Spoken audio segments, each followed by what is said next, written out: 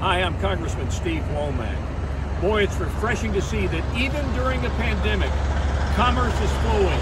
The goods and services you need are coming to you thanks to the people that operate these 18 wheelers up and down America's highways.